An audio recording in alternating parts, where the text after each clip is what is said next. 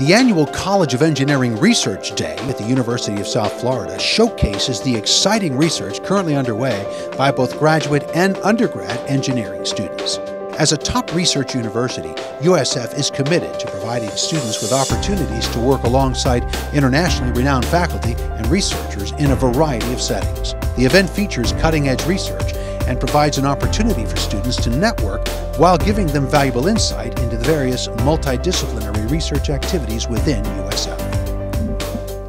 Today, I'm demonstrating the possibilities of a thermoelectric device. This system and its findings will hopefully be used in the therapies for individuals with neurological disabilities. The project that I'm talking about has to do with the effect of stabilizing agent on platinum nanoparticles that are synthesized. Our results have shown that with the incorporation of this stabilizing agent, significant increases in the current that is being measured can enhance oxygen reduction reactions and PEM fuel cell performance.